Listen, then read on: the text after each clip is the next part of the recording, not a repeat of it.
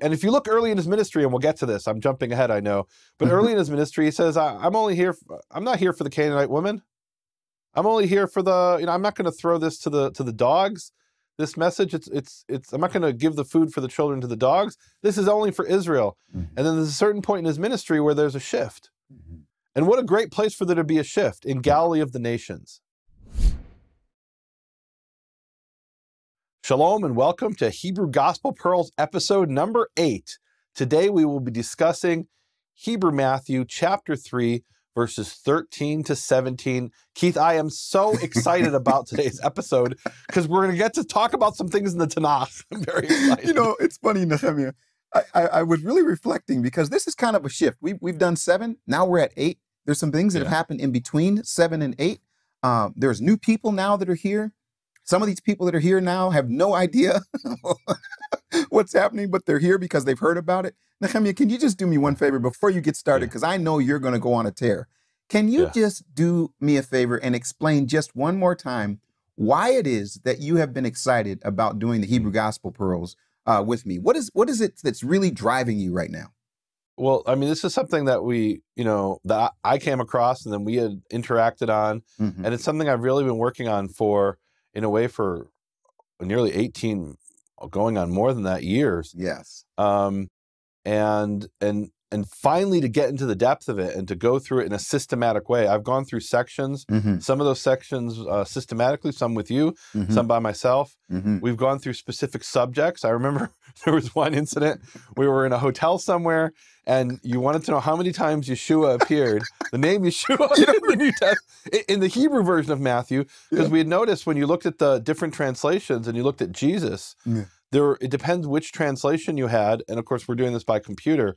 And you would see the NIV has this number, Yes. and the NRSV has this other number, and the NASB is the third number. So he Yes. said, "Let's." You said, "Let's look how many times Yeshua appears uh, in the uh, uh, in in the Hebrew version." So we went through, and I'm reading off. I'm doing a search on my computer, and every time I find that I say Yeshua, Yeshua, Yeshua, and you're like doing a little tick thing, It's marking getting closer. Yeshua, Yeshua. the other reason I'm So- actually bringing this up is some people don't know we did read this. We wrote this book together, A Prayer to Our Father, Hebrew Origins of the Lord's Yeah. Prayer, which really started us on a journey. And then the journey sort of stopped for me, but it didn't stop for you. It stopped Yeah, for me because we'd written the book yeah. and we toured and done those things, but you were still studying, you were still gathering manuscripts. And I have to tell you, something hit me this morning. I thought about just what you've done over the last year. Can you imagine, Nehemia, all of the places you've been in the last year?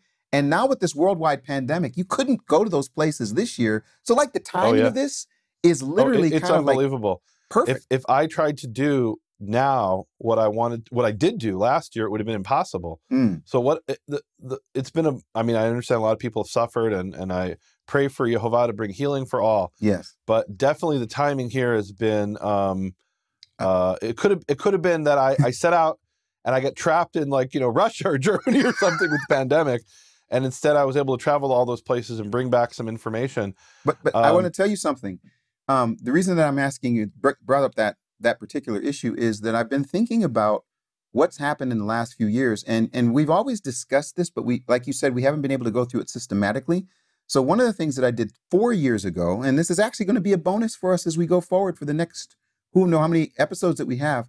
Um, we started something called the Red Letter Series, which was a, a, an opportunity to just look at the words of Yeshua. Now, here's the funny thing: it actually didn't start until this episode because this is the first time that Yeshua Oh. shows up and he's going to speak.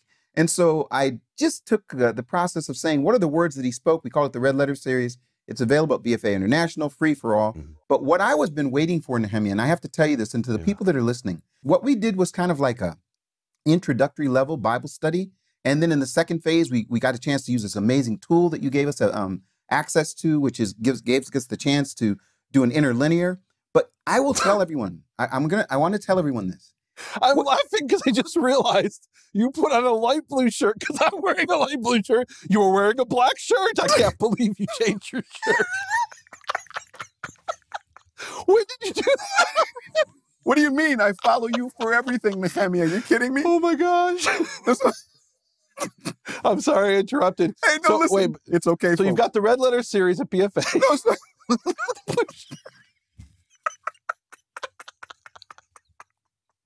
hey, folks.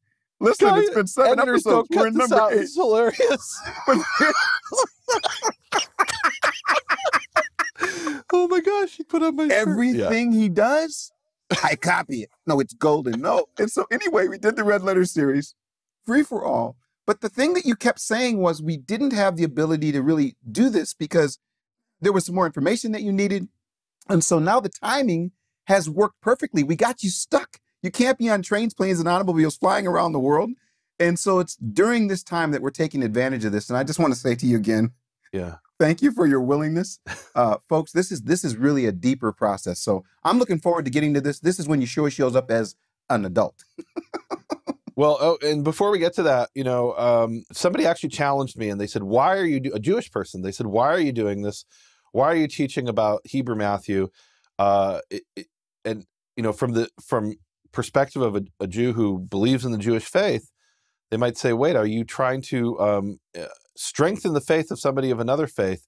And why would you do that?" And my position has been all along, um, certainly for years, has been my goal is to empower people with information. If you say you believe in something, you should know what it is. yes You should know what it is you believe. And look, that that brings up here, I think, what for me is maybe the key issue of this episode, Keith, Mm. which is that up until now, we've had the infancy narrative, we had the story of about Yeshua as a child, and I want to read from the Nicene Creed. excellent Um, someone actually read this to me. We were talking about what I believe, and he was a Christian. He was talking about what he believed, and he opened up his Bible. And at the front of his Bible, inside the cover page, he had glued onto the cover page the Nicene Creed. Mhm. And I'm not going to read the whole thing, but there's a section there about the Father and about Jesus and about the Holy Spirit. And the part that interests me, and we've talked about this before, it says, "For us and for ourselves, it's a we believe, right? For us and our, for our salvation, He came down from heaven. That is, Jesus came down from heaven. He became incarnate by the Holy Spirit and the Virgin Mary, and was made human. He was crucified us for us under Pontius Pilate. And it's profound. Somebody pointed this out to me years ago that what the Nicene Creed doesn't include is everything from Matthew chapters 2 through 26, Mm. Mark chapters 1 through 14, Mm. Luke chapters 2 through 22, and John chapters 2 through 17, Mm. meaning everything. So it says the virgin birth and made human, he was born. Everything from when he was born until he was crucified Mm. is not part of the creed Mm. of, of Christians for the last 1700 years Mhm. certainly of mainstream Christian denominations for the last 1700 years. And I'm excited that we're going to get to talk about the part that's missing from the Christian creed because they say they believe that Jesus is their Messiah. Uh, and they do little sermons about it and they do study about it. I'm not saying they don't, Mhm. but core beliefs don't include everything from Matthew chapters 2 through 26. It's almost like that's a footnote. Yeah. Right? He did all of those things not for the purpose of doing those things, but so he could get to Matthew chapter 27. You know right? It's almost like Matthew chapters 2 through 26 are this nuisance. yeah And if we could just get through them really quick, get to the core, which is Matthew chapter 27 to 28, the crucifixion. Yet uh, the bulk of the Gospels, I just read you the chapters, Mm. are about the things that he did on earth. Mm. And uh, I think those are worthy of study. Um, I think they're worthy of study on the level of this is an important document, maybe the, one of the most important documents of Western civilization. Mhm. Um, that's number one. Number two, I think if you say you, and that's for Jews who don't believe in Jesus, who aren't Mm. Christians, but for Christians who say they believe in him, they should know what it is he did on earth and what he taught. amen And many do, but I've met people who literally all they knew. I mean, I shared years ago about a woman I met on a plane to Tacoma, and she said that her her knowledge of Jesus came from the movie The Passion of the Christ. yes And she literally had no idea of the stories of the gospel. She knew, of course, the Christmas story, Mhm. so so it actually parallels quite nicely. She knew the Christmas story and she knew the Passion of the Christ, the movie, Mm. and everything in between. She had virtually no idea. Oh yeah, I heard something about you know stoning a woman, right? And I think those are important to talk about. I think it's important to understand this information. Mm. Uh, um, let me say this both, like I said, as, the- as a the- core document of Western civilization and Yeah. as the basis of people who say they believe in it, they should know what it says. Yeah. And what I'm excited about is I get to come with my Hebrew background Hmm. and share um, about Jesus as a Jew, about Yeshua, as a Hebrew Mm. and what that meant in its historical context. You know, we we we've done a lot of stu studying together. We've done a lot of traveling together, and we've come across a lot of different people. And it really is an interesting thing that you just brought up because people tend to want to talk about the the idea of Jesus, Yeshua, the theology, the things we're supposed to believe. And one of the things that we've always said, and what I've always appreciated about you bringing the Hebrew Gospel of Matthew to my attention, is that we get to actually look in the language history context of what he said. And and it and there are times when what he says goes well beyond the idea of who we've been taught uh, that he is. So that's what I love about this. I'm excited about this Yeah. particular episode because I've been waiting for it for 18 years. well, actually, it's only been four years since we started Mhm. the Red Letter series, but we started with this verse. So getting your insights, Nehemia, getting your Yeah. thoughts, getting what you've done in terms of study is just going to take the study to a whole different level, and people are going to study with us. So Yeah. let's get into it. You know, now that I'm talking about it, I'm realizing there's actually a really interesting parallel Hmm. between the way that Christians approach the Gospels, Mhm. specifically the Gospels, and the way that the rabbis approach the Torah. Hmm. There's a famous statement in in um, uh, Rashi, and other rabbis have talked about it as well, which is why did the Torah begin with Genesis 1 1? Yes. The Torah it mean, Torah means instruction, hmm and so it should have begun in Exodus 12, verse 2. "Chod- HaChodesh hazeh lechem rosh chodashim." This new moon is for you, the beginning of new moons. hmm And the idea of the question is if the Torah is a book of instructions, Genesis 1 1 through Exodus 12 1 are completely irrelevant because they're not instruction. So, what are they doing in there? They shouldn't even be there. And then they come up with some answer of why they're there, Mm. uh, some legalistic answer, actually. And the point is that the Torah meaning instruction isn't just a book of laws, isn't just a book of rules. The stories of Abraham, Isaac, and Jacob, those are important in and of themselves. hmm And I, I- and so I see this interesting parallel. The rabbis want to jump ahead to Exodus 12, 2, and the Christians want to jump from Matthew 1 to Matthew, uh, what is it, 27, the uh, crucifixion. Um, and actually, there's something in between. And there's a reason that's there. There's a reason that Genesis exists and that the first 12 or 11 chapters of Exodus exist. Yes. They have important messages to tell us. We don't always know what those important messages are. Yeah. Sometimes they only become clear when we meet someone who has no background in this because we take it for granted. Hmm. We're like, yeah, we know all this story. Yeah, you know it because you read it. There's people who don't know it because they never read it. They never heard it. Yeah. Um, and look, so we're dealing here with with um, the story of what happened, and people are going to get upset. They're saying, Nehemia and Keith, get out of verse the first verse. I don't even know that we can get to the first verse this time. No, listen, Be- folks. because the background is so exciting and, and important. so we've just jumped over from Matthew chapter 2 to Matthew chapter uh, 3. Mhm. What we jumped over really, or really, um, you could say from uh, verses 12 of chapter uh, 3 to verse 13, uh, we jumped over what's called the missing years. yes. The missing years is what happened to Yeshua between the time he was a child and where he shows up for his ministry about the age of 30. And and such a thing. And we have some we have some documents about these things. Do we know about these? Well, I mean, there's people who have who have claimed that he was in India teaching, and he was some kind of guru teaching in India. Yeah. Um, to me, what's more interesting is something called the Infancy Gospel of Thomas, Mm-hmm. which tells how about Yeshua had these supernatural powers Mm-hmm. as a child, and he would kill children and resurrect children, and he would, you know, strike people with blindness. And one of the more famous things he did, according to the Infancy Gospel of Thomas, is he was given a uh, there was a clay bird, which was a toy, Mm-hmm. and he brought it to life. Mm-hmm. And this is reported in the Infancy Gospel of Thomas, which is undoubtedly a Christian work, right?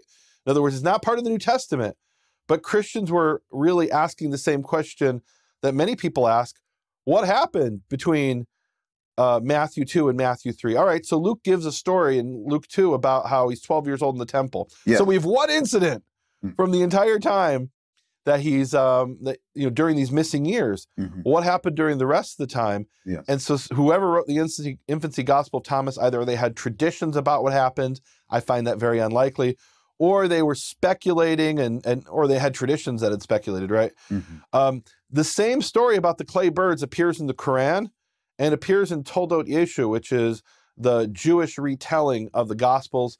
Some people call it a gospel parody. Mm-hmm. Um, most historians don't consider it to have any historical value. Mm. But what you can see here is that there's a tradition about Yeshua taking birds and blowing uh, life into them and then flying off. And it appears in these three very different sources a Christian source, a Jewish source, and a Muslim source. You could say it's just a fairy tale that was made up, right? Mhm, But they all know the same story. That's really Mhm. interesting to me. mhm. Um, but now finally, we don't have to speculate. The missing years are over. He's arrived on the scene. Can you read? I- I'll read it in Hebrew, and then I'm gonna ask you to, Well, to read it in English. I want to say something. I, I and listen, yeah. Nehemia, and, and folks that are listening, listen. I want to tell you something, um, and I want to, I want to, I really want to slow down just for one second. Uh, what we're about to do um, is not being done anywhere in the world. What we're about to do is not being Mhm. done anywhere in the world because what we have access to is is information with the work that you've done, Nehemia, and and again, if you, there's a lot of new people right now, Nehemia, and I know some people are saying, "Oh, we've heard that already," but listen, I want to say this again. I want to say this even to the people that are working on this process. What's happening right now, and I get excited about this, Nehemia, because this is a, a culmination of a lot of time and effort, a lot of work, um, and especially on your part in terms of something you said. I think it was in episode, episode five. You were looking at one word in episode five, and I think, and I, I was listening to this, and I think you said you decided to look in all 28 manuscripts. And in order to do that, it took about 15 minutes for each manuscript that you looked in. And I think you said something like it was six hours just for one little piece. Mm. So when people say, hurry up, you guys, get through this so we can get to uh, uh, uh, uh, Matthew chapter 27, no, no, no. We're going to slow down and let this thing, we're going to enjoy this because this really is a Mhm. culmination of a lot of work. So now, go ahead, my friend. Az ba Yeshua mer Galil. Then Yeshua came from the Galilee. Mhm. Can we stop there? We're not going any further. Folks, I asked Now, Nehemia a question. I gotta say though, I, I just want to got jump to in here. and I said, Nehemia, "Wh- wh- remember what you told me about the Galilee? He's like, uh, you know, what which part? And he, and again, language, history, context. The Galilee. Yeah. Can we talk about it? So before we get to the Galilee, Hmm. I'm real excited about uh, what we're going to talk about in the Plus episode because in the Plus episode, we're going to finally get to um, what to me is really exciting is verses 16 to 17. Mhm. And verses 16 to 17, it's going to bring us um, from from Matthew back to uh, Isaiah and to the Psalms. Psalm chapter 2, verse 7, Isaiah 42. I'm really excited about talking about Isaiah and Psalms, but okay, we've got to talk about the, the context here. It's not just the context of verses 13 to 17. Mm. This is really, in a sense, the context of Yeshua's entire ministry. Yes. Um, why is it? Let, let, and, and here, I'm going to get in trouble with my Jewish brothers and sisters who are going to say, Nehemia, uh, we don't even know if Jesus existed, even though he's mentioned in the Talmud. Um, so, so I'm going to get in trouble with some of those people. But just as a thought experiment, God sends his son to earth. Why not send him to China? Send him to the Yellow River Valley, where one in five people alive today, uh, that's the, the, the basket of their civilization. Mhm.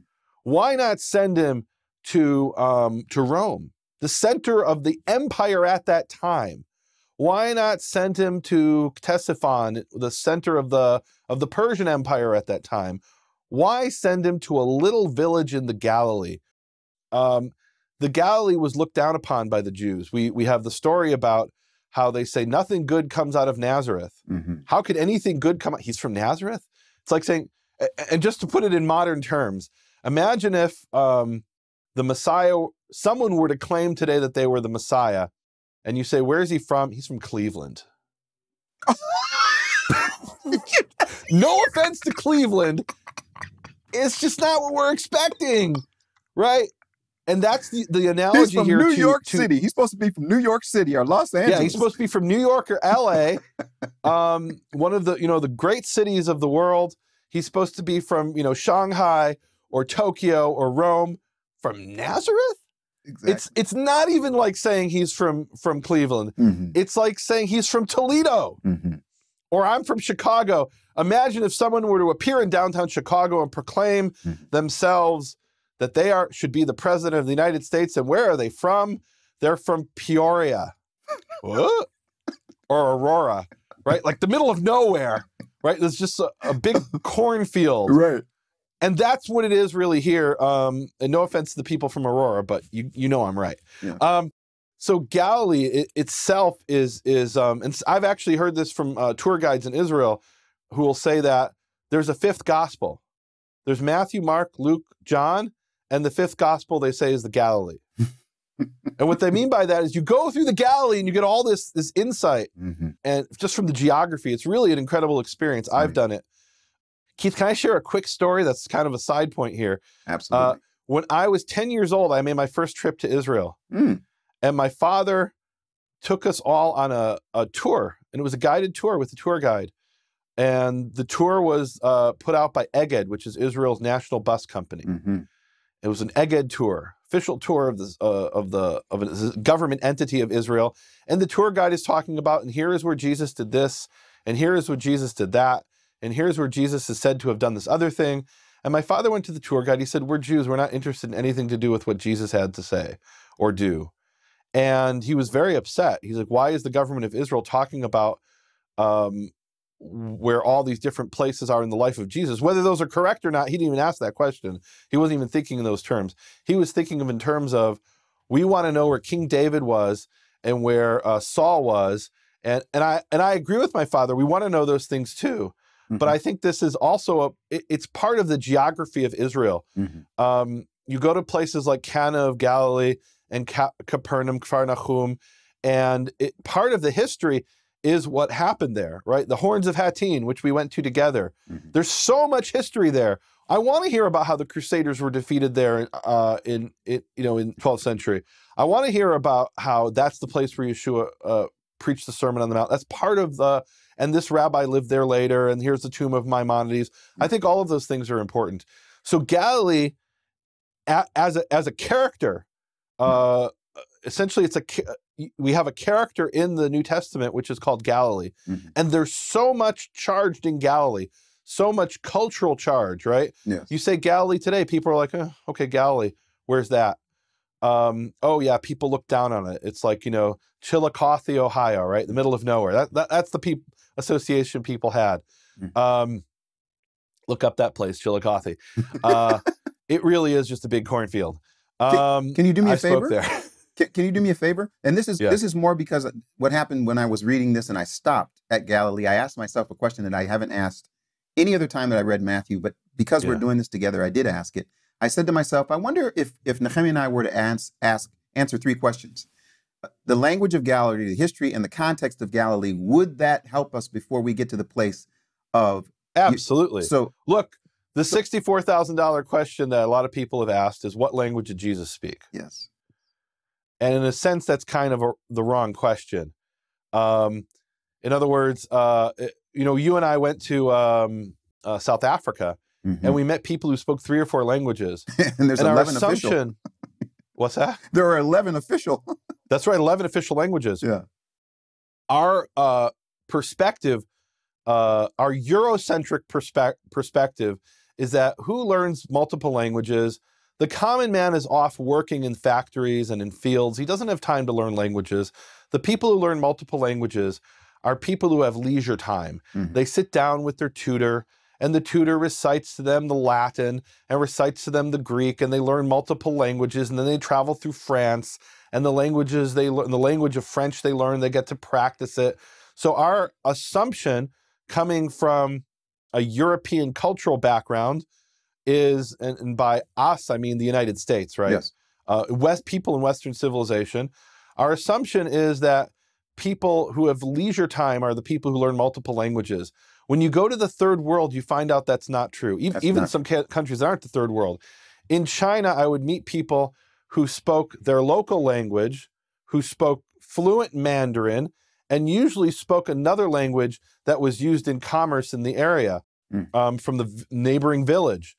Uh, and all of those would be defined by linguists as mutually unintelligible languages, sometimes dialects, right? But really mutually unintelligible languages. Um, the local language where I lived in China was more different than Mandarin than Hebrew and Aramaic are. Hebrew and Aramaic are sister languages. Yeah. Um, there are hundreds, maybe thousands of words that, uh, that are in common Hmm. between the two languages, uh, and actually between all Semitic languages. or many Semitic languages. So, for example, the word for uh, child in Hebrew is yeled. In Aramaic, it's yalad. Mm-hmm. And in Aramaic, it's walad. Right? It's the same word, same three consonants, except for the first consonant in Arabic becomes a wa, and in Hebrew, it's a ya.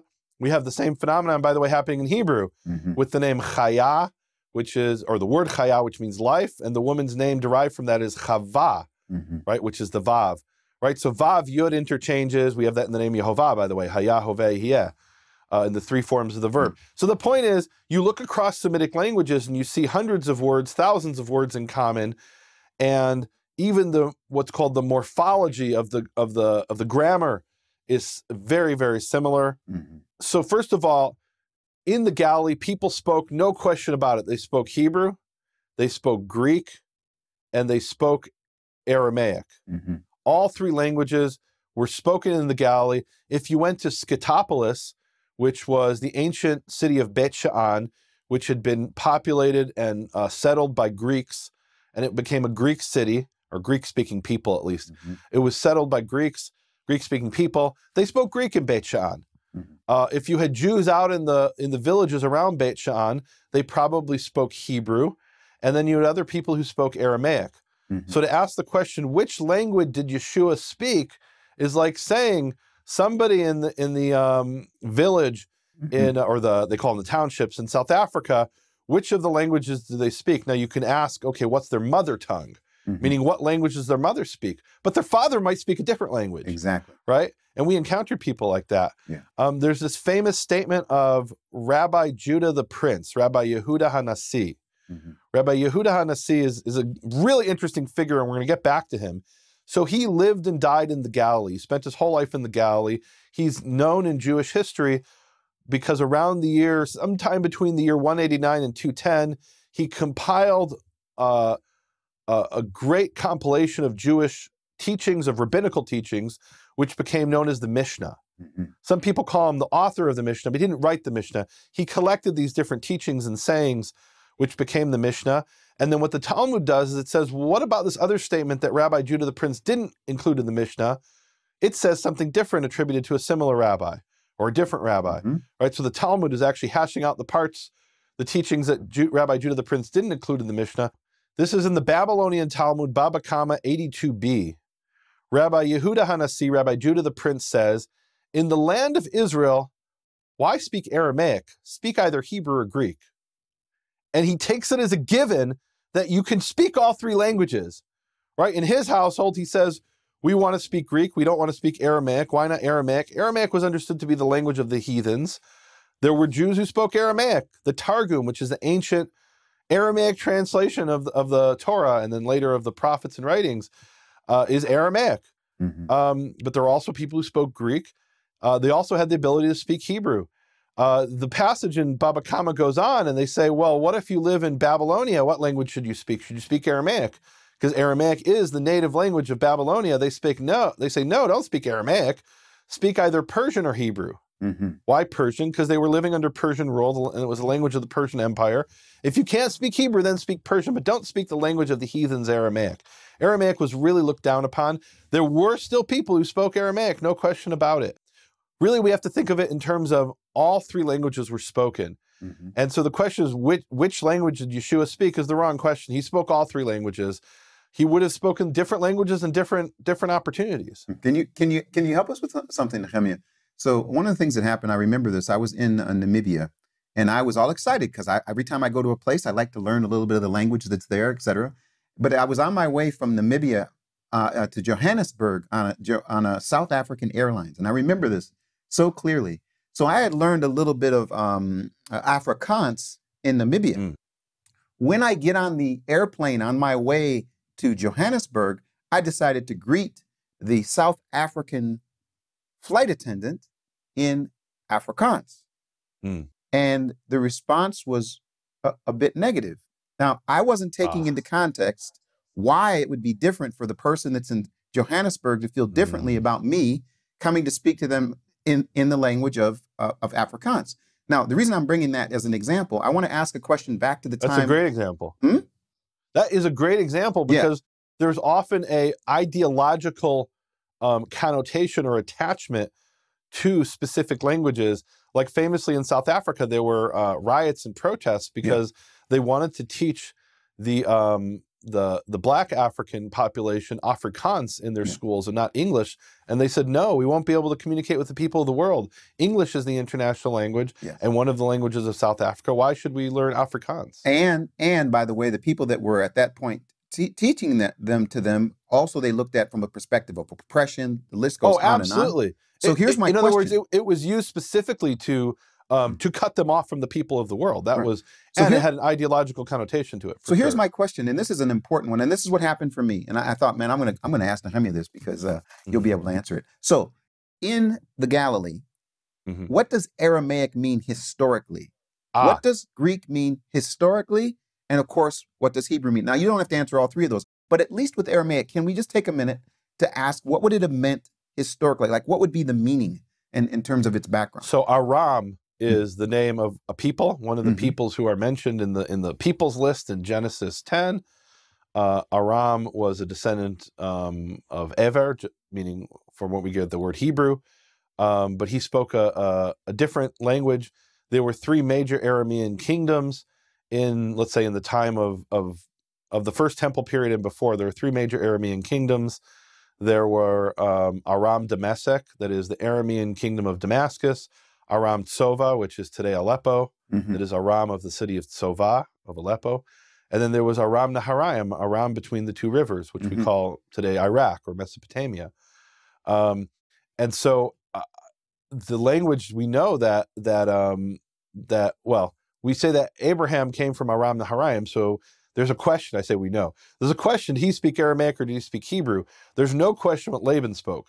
Laban spoke Aramaic. Mm-hmm. And how do we know Laban spoke Aramaic? Because when he makes a covenant with uh, with Jacob, he they make a pile of stones, and we're told that Jacob calls it Gal Ed, mm-hmm. which means a pile as, as a witness, and Laban calls it Yagar Sahaduta. Yagar Sahaduta means a pile of testimony, right? It's yes. not actually even the same name. Mm-hmm. Um, and so and it tells us that in Genesis that Laban had a different name for it because Laban spoke a different language. Mm-hmm. So by the time of Jacob, we can say with complete confidence, people were speaking Hebrew. Whether Abraham spoke Aramaic or Hebrew or both, uh, I guess we don't really know that. But definitely by the time of, of Jacob, Hebrew was the language. And then Hebrew, of course, was the language that was spoken with different dialects. And we'll get to that in a 2nd mm-hmm. with different dialects all the way up until around the ninth century Mm-hmm. We we quote in our book a prayer to our Father. I believe we quote uh, from a rabbi named Rabbi Elijah ben Judah the Nazarite, who wrote what's considered the first grammar of Hebrew. And there he says he sits in the in the public squares and the streets of uh, or the markets of um, of Tiberias to listen to the speech of the common folk, yes. so he can fill in some of the blanks in his grammar. Mm-hmm. Or his grammar was based on the Hebrew of the Bible, but you know, not everything we, that existed in ancient Hebrew is in the Bible. Meaning, imagine if we didn't know a word of English and all we had of English was the writings of Shakespeare. So there's a lot more to English than what's in Shakespeare.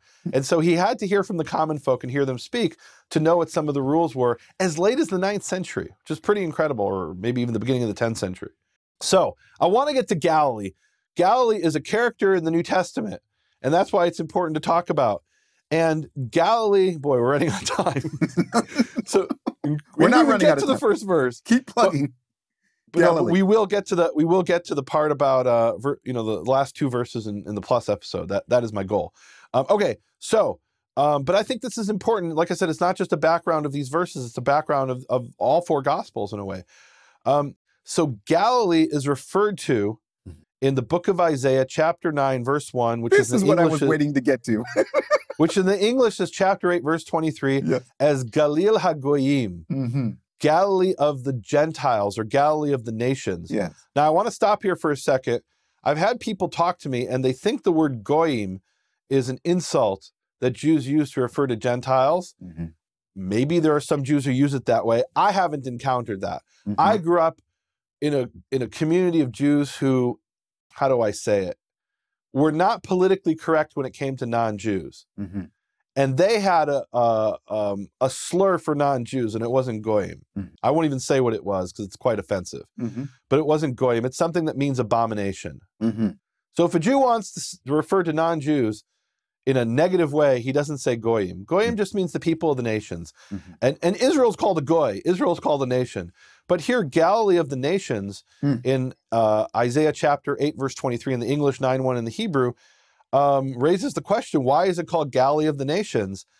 And the real answer is we don't know 100% why, but it probably do- dates back to 1 Kings chapter 9, verse 11, where Solomon is building the temple and he needs large cedar trees for the roof and some of the supporting beams. Mm. And he gets them from King Hiram, King, Hi- King Hiram of Tyre, of Mhm. Tsor. Uh, in Hebrew, the city is called Tsor. Tyre to this day is a city on the coast of Lebanon. At the time, it was a Phoenician city. Phoenician is what the Greeks called the Canaanites. So it's a Canaanite city. Mhm. And Solomon, as a payment for all of this wood that he's given, gives 20 cities in the Galilee to Hiram of Tyre. Yeah. And so, why do we have Galilee of the Gentiles, Mm. Galilee of the nations? Mm. Probably because Solomon gave it over to um, the to to Hiram. Do you remember what Hiram Uh, said Tell me what he said. about the quality of those cities? what does he say? These are the cities you give me. in other words, You're saying he wasn't very grateful. Well, no, he was saying the, th- these are not. You know, in other words, I, I- I guess when I heard when I hear in, the, in Isaiah and then also going forward, um, just geography, Syria, Yeah. Lebanon, Israel, present day, uh, what was happening there and who was there. I mean, it just seems like uh, when you ask the question about why would he send him there, beyond the fact that it's Israel, um, um, but th- this this thought from Isaiah that says, when I read Isaiah that said Galilee of the Gentiles, and then when I thought about Yeshua being in the Galilee. th- th- Yeah. I've heard a lot of people go on and on about that, but it is kind of Yeah. cool that uh, that that is where he came from, especially in terms of the mission of not just reaching uh, those that were with him, but Yeah. reaching people Here- beyond. here's all right. So now that you drew us into this, here's something really interesting. So let's read it. Um, verse 11 of of 1 Kings chapter 9. King Hiram of Tyre, having supplied Solomon with cedar and cypress, timber and gold, as much as he desired, King Solomon gave to Hiram 20 cities in the land of Galil of Galilee. But when Hiram, when Hiram came from Tyre to see the cities that Solomon had given him, it says, Lo yashru be'einav. They were not straight in his eyes. he didn't like them.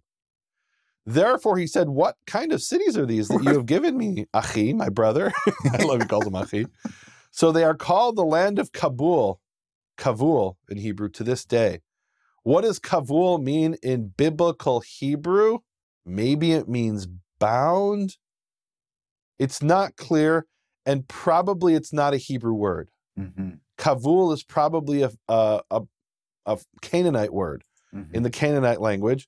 And so here we have a word play. We, we I talk, talk all the time about word plays, which scholars call paronomasia. Mhm, Um, it's a play on words, word puns, mhm. that the name Jacob has to do with the word in Hebrew. Here there's a word play with the word kavul, which may have been understood at the time of, of Solomon, but here we hear that today and we're like, does it mean bound? Does it mean like Baal maybe? It's not clear what it means at all. Mhm, Um, apparently it's something disparaging, right? Because he doesn't like it. mhm. So that was Galilee of the nations. So think about this. From the time of Hiram, these cities are looked down upon, these cities of the Galilee. Now, this isn't Yeah. the entire Galilee. Galilee is a large region, but it was Mhm. 20 cities in the Galilee. Now let's fast forward to the time of Zerubbabel, who is the leader who brings the Jews back from Babylonia. Mhm. And we're given the list of the different people and where they settled. And all of those people are settling in what today we would call uh, Judea. Mhm. That is, they're settling in areas that were the sou- southern kingdom, the kingdom of Judah during the first temple period. So they're, you know, we think of they, or I thought of as a kid, we're coming back from Babylon, and I think, oh, it's it's they're they're settling every nook and uh, cranny of Israel. Not at all. It's a tiny little province in what today is uh, central Israel Mhm. um, doesn't even include some major parts of Israel that we think of. Doesn't include Samaria. Doesn't include the Jezreel Valley. Mhm. Doesn't include the northern Jordan Valley. I mean, these are the, the the breadbasket of Israel is not included. Doesn't include the Galilee at all. And what happens is um, there are Jews who are living in these areas in southern Israel, and there is uh, the war against the Greeks. The Greeks come and they want to wipe out the Jewish faith. This is the famous story of Hanukkah. We're not going to get into the whole thing. You ask about the connotation of Greek. For a lot of Jews, the connotation of Greek was persecution. Yes. It was it- saying Greek was the, almost the same as saying expunge my Jewish identity. There it is. That was the understanding. To this day, by the way, there are many Jews where you talk about Hellenize or you use the word assimilate, and those are dirty words. yes. Because assimilate means give up my Jewish identity. Um, Hellenize means adopt somebody else's culture instead of my culture and faith. hmm Uh, so Greek has very negative connotations. Even though Rabbi Judah the Prince, he preferred Greek over Aramaic. As bad as Greek was, Aramaic was considered worse to him. hmm Um, Jews who are in southern Israel and they're persecuted by the Greeks and they want to wipe out the Jewish faith. That becomes the Hanukkah story. There's a war with the Maccabees, or actually they're called the Hasmoneans in, uh, in Jewish sources. The Hasmoneans, the Hashmonaim, they fight against the Greeks and they have some kind of limited victory. They win, they lose, they win, they lose. It goes back and forth. Finally, some Jews during this period are able to get a foothold in the Galilee. Yes. So we we don't hear much about the Galilee uh, until finally we fast forward until um, after Isaiah. Mhm. And by the way, Isaiah 9 1 might be talking about something referred to in 1 Kings fifteen twenty nine, which is the exile of the Galilee in the time of Tiglath-Pileser III, Yes. approximately 732 BC. Mhm. Isaiah 9 and that whole context is around about the Assyrian invasion. Mhm. That is, King Ahaz is about to be attacked by the king of Israel and the Aramean king of Damascus, and God promises him that the king of Israel will be destroyed. Mhm. And then in chapter 9, he mentions the Galilee of the nations, which might be the exile there Mhm. under Tiglath-Pileser III. Now jump forward to around the year 161, 160 BC. It's during the time of Judah the Maccabee when he is the lead, leader of the Hasmoneans. Mhm. And we read um, that there is an emissary that comes from the Galilee. And, and uh, first, we're not going to read the whole thing. First Maccabees 5 14 to 23, we hear about how the Galilee of the nations, and their nations no doubt means Gentiles, absolutely 100%. It's, we're told there the Galilee of the nations want to wipe out the Jews in the Galilee. Hmm. And so they send uh, uh, an army, a military force under Simon, the brother of Judah, Simon the Hasmonean, up to the Galilee and it's and he defeats the this army that's come to attack the Jews. And then it says in verse 23 of First Maccabees 5, then Simon took the Jews of Galilee Mhm. and Arbata with their wives and children and all they possessed and led them to Judea with great rejoicing. So, how many Jews could have possibly been in Galilee if he's able to empty the Galilee and bring these Jews to safety out of Galilee into Judea?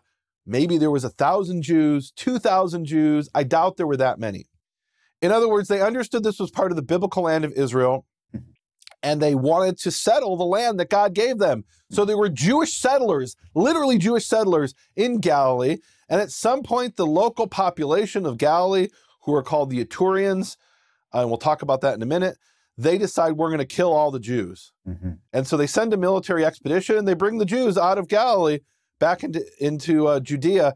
Um, you could say there was a similar thing that happened in modern times, which is that there were 10,000 Jews living in Gaza, which is part of the historical land of Israel. Yes. And the state of Israel, right or wrong, and I think they were wrong, but They right or wrong said, we want to bring these Jews out so they don't get slaughtered by the Arabs. So we actually have a modern parallel to what happened.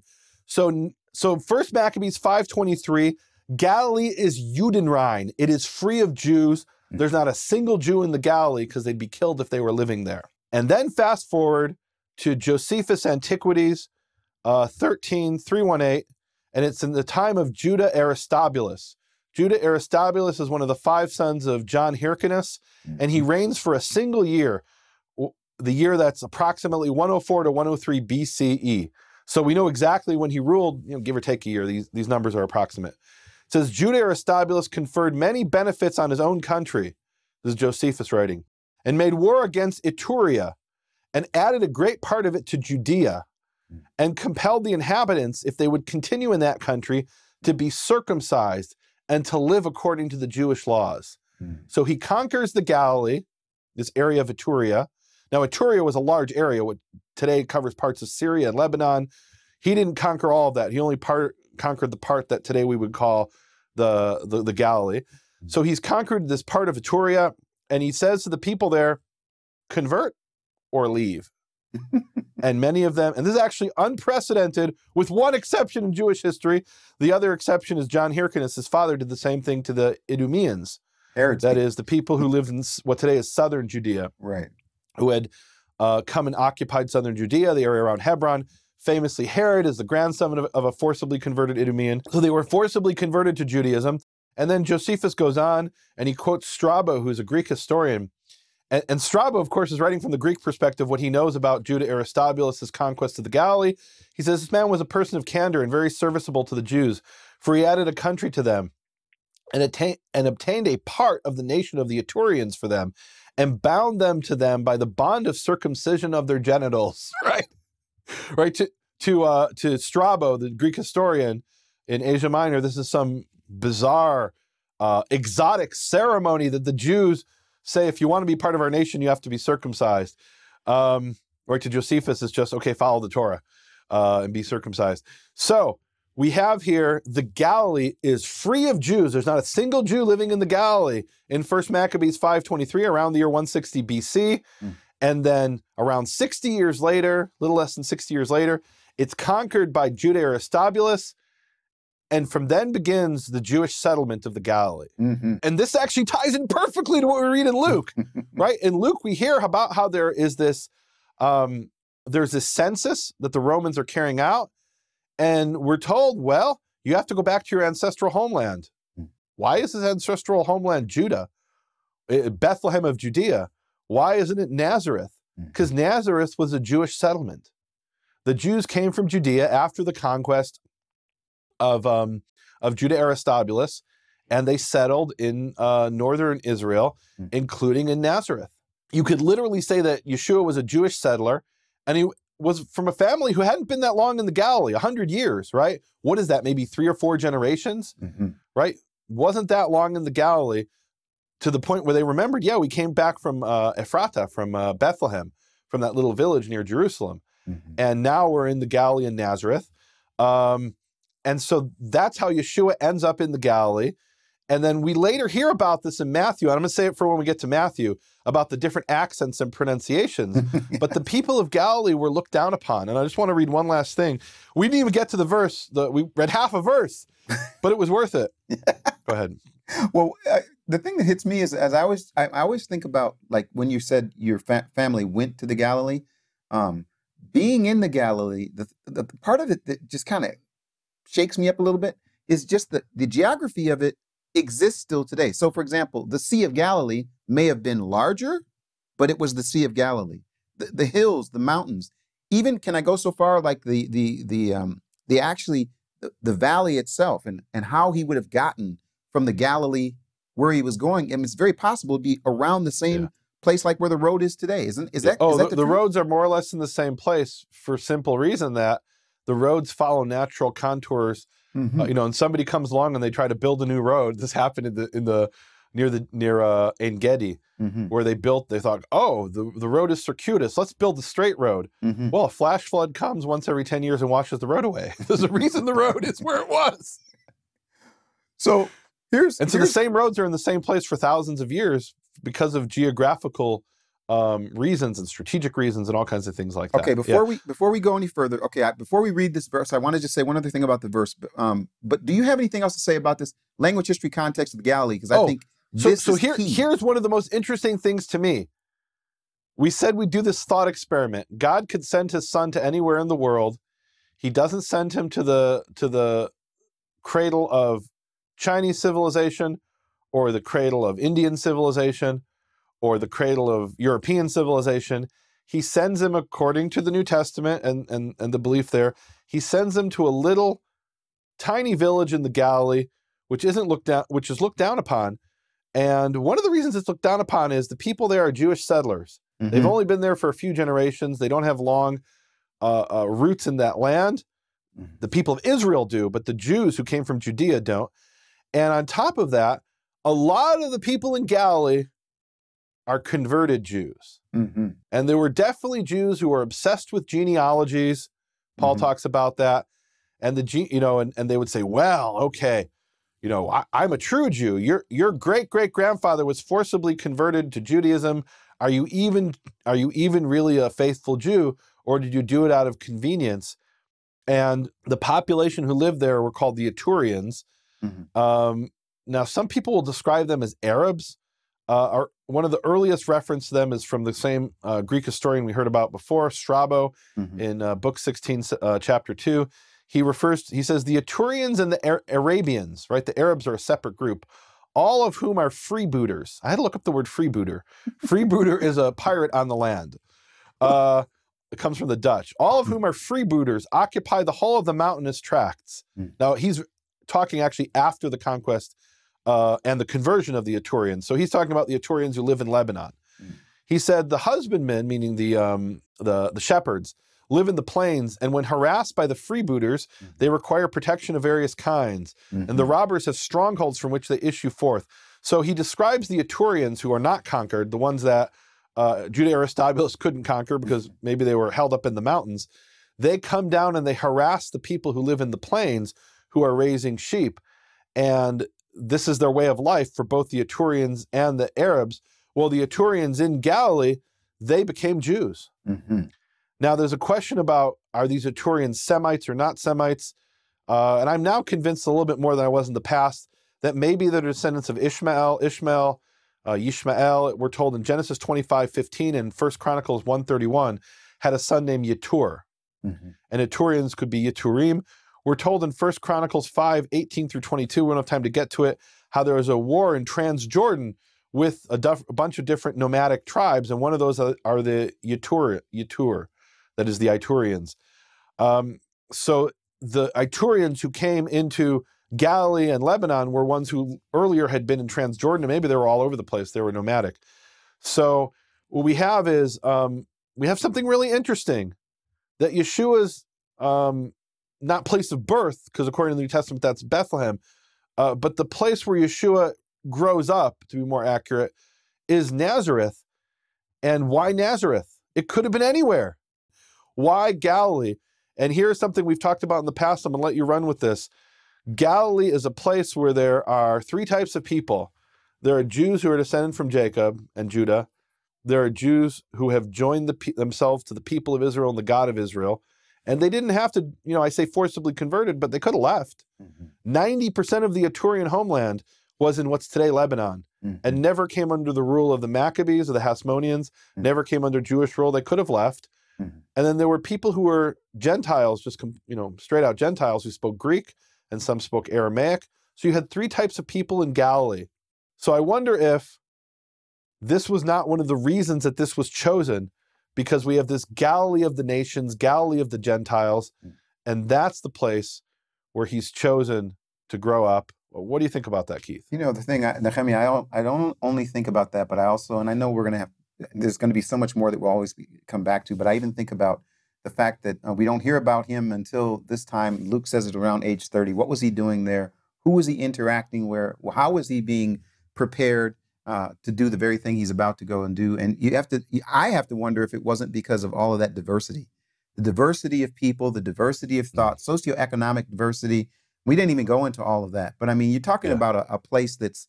Can I use the word? Um, I don't know if I this is a, a, a good word, a melting pot of people from different places, different languages, different thoughts, and and from there is where he he was at. And again, we're going to find out later what he was doing before he gets to John. But um, I Well, so yeah. so I'm gonna I'm gonna summon the the Jewish principle I've talked about uh, talked about before, which is Maaseh Avot Siman Lebanim. Mm. That is the actions of the fathers are signs to the sons. Mm. And I have to wonder here if the reason that this was chosen as the place was, in a sense, um, foretelling what would happen Mm. later for those who followed Yeshua. Yeah. Right. And if you look early in his ministry, and we'll get to this, I'm jumping ahead, I know, but early in his ministry, he says, I, "I'm only here.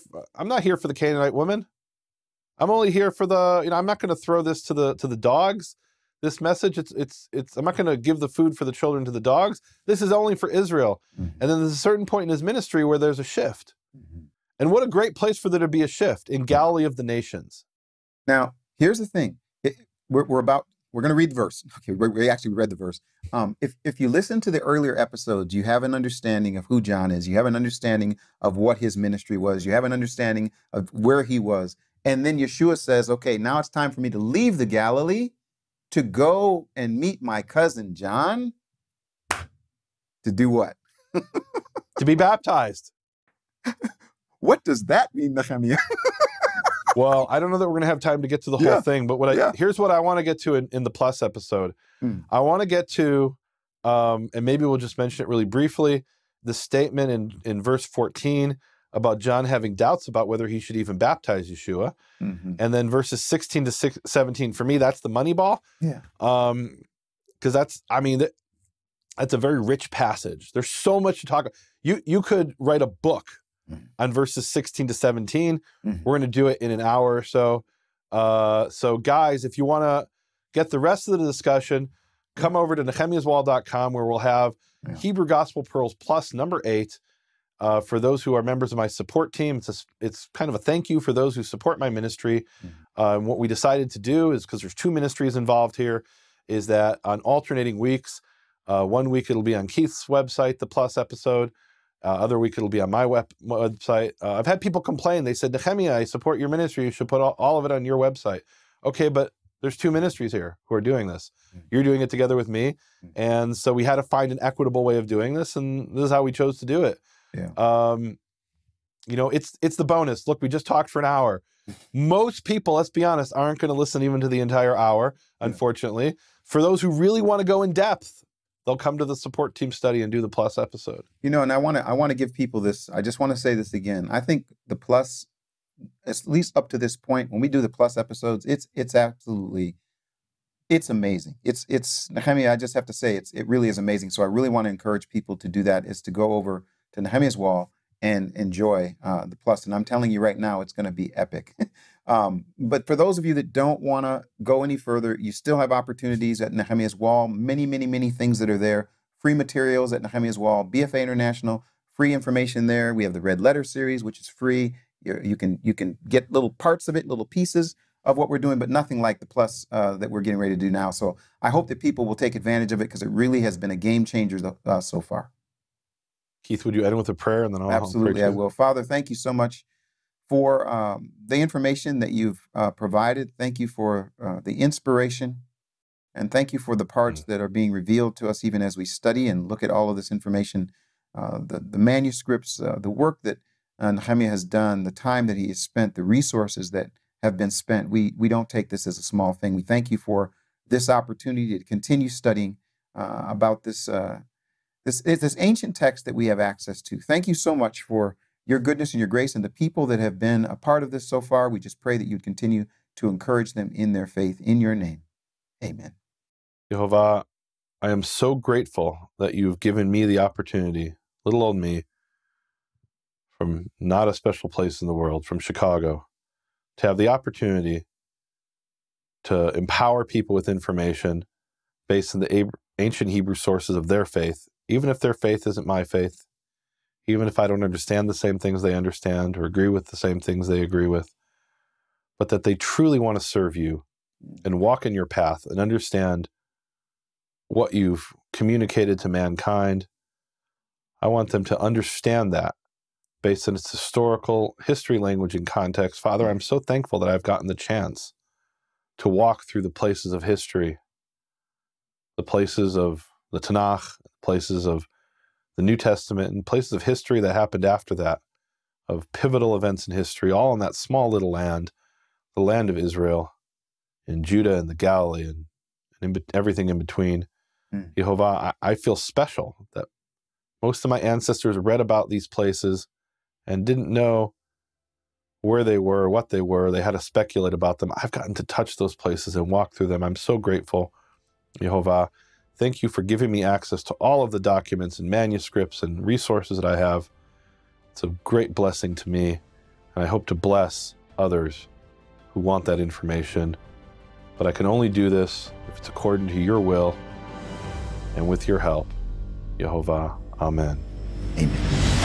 You have been listening to Hebrew Gospel Pearls with Nehemia Gordon and Keith Johnson. For a more in depth study, check out Hebrew Gospel Pearls Plus at nehemiaswall.com and bfainternational.com. Thank you for your support.